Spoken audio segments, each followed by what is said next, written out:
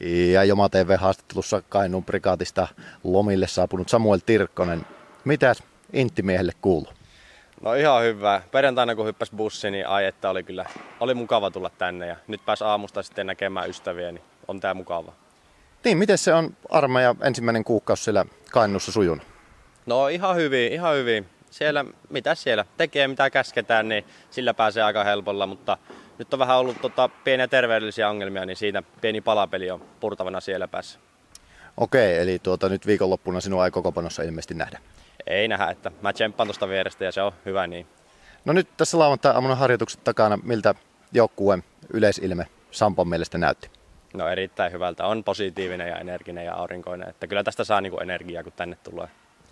Se on mukava kuulla. Mitä, miten näkisit tuon Joensuun ja Kitteen pallon välisen ottelun? Kumpi sieltä Halli SM avausvoiton nappa? Joo, sun mailla. Ei tässä, ei tässä paljon kahta sanaa ole, mutta mukava peli on päästä katsomaan ja varmasti tulee tiukka peli.